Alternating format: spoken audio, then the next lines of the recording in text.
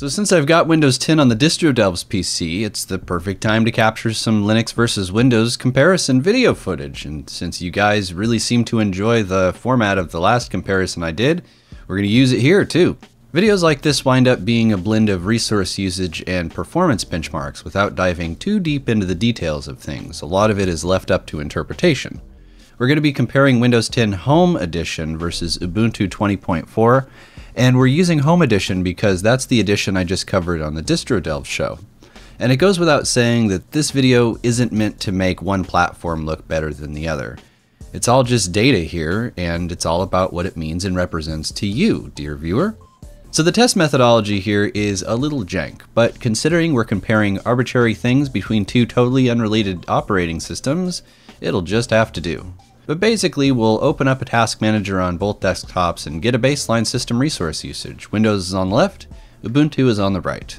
At idle right after login, we can see that Windows is using just about 1.6 gigabytes of memory just sitting here, and the CPU usage fluctuates anywhere between 8% and 38%. Over in Linux land, Ubuntu is using just shy of 1.3 gigabytes of memory at idle, the CPU usage is right around 10%, excluding that spike of about 40%, which is probably because apt was doing something. And now we'll launch a whole bunch of apps and do basic everyday things on the desktop, like open a web browser and go to my YouTube channel, open the calculator app, calendar app, and mount my USB card reader, copy a zip file to the hard drive and extract it, and open a big old text file, open a picture, watch a video, that sort of thing. Windows was generally slower at everything, so I had to adjust the speed a little bit, make some clever edits so that everything looks congruent. But the usage results were practically the same on each run. I re-recorded the footage for this comparison section probably a dozen times, and I still couldn't make it through without just a few edits. And I'm not totally sure if I'm reading the graph correctly because Windows seems to aggregate the CPUs, and as you can see on the Ubuntu side, each CPU is clearly shown, but on Windows it's just a single and sometimes unrealistically low number. So yeah, take the CPU usage results with a grain of salt, but the memory usage should be pretty spot on. Once all of our apps are open, we'll let the desktop sit for a few minutes so that it can kind of even out and then recheck the system resource usage. And after we do all of that, after opening and playing with all of these apps and stuff, Windows wound up using about 2.7 gigabytes of memory and eventually settled in at about 7% CPU usage.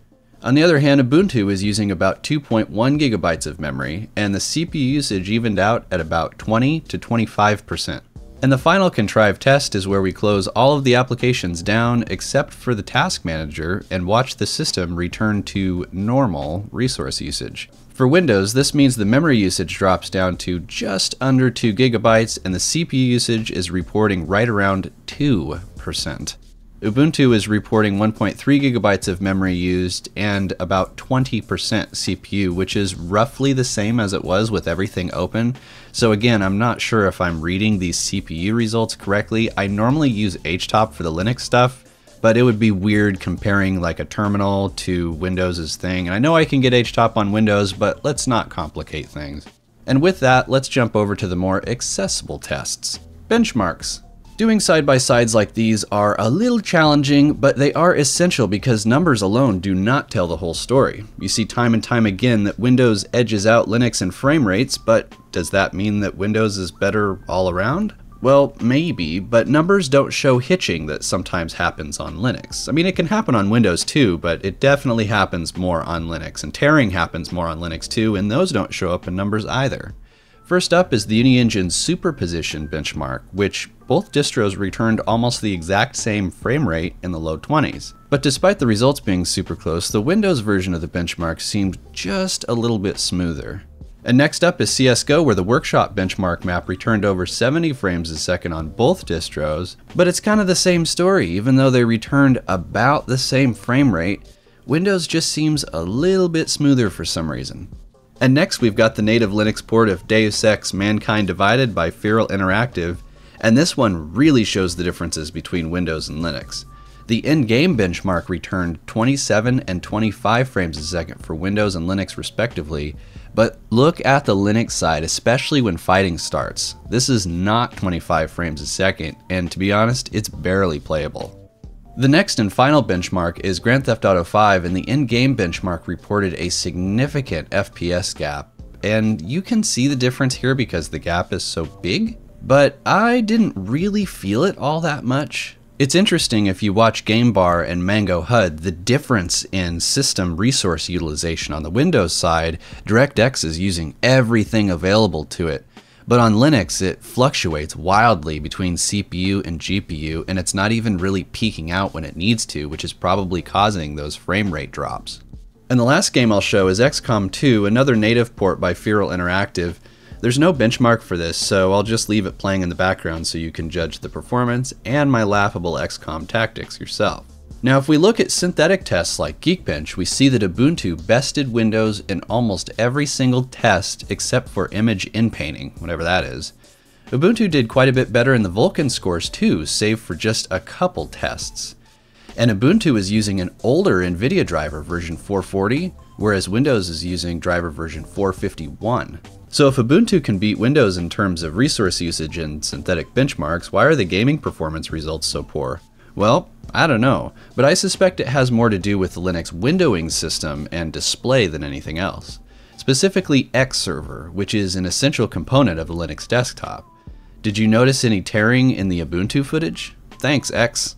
A replacement for X server called Wayland has been in the works for years, and it's stable enough on GNOME, and maybe some other desktops, but it wouldn't really help the gaming scene because pretty much all Linux games are built to work with X server, and Wayland has to spin up its own little micro X server to play them. Then there's also question of driver support, which I'm not going to talk much about. Like so many things in the Linux community, the choice between AMD or Nvidia is a polarized one. I use Nvidia, and as we saw here, the frame rates were comparable. I've used AMD cards in the past, and the performance has always lagged behind NVIDIA on Linux, but supposedly that's changed, I don't know. I'm of the opinion that Linux gaming performance will never match native Windows performance.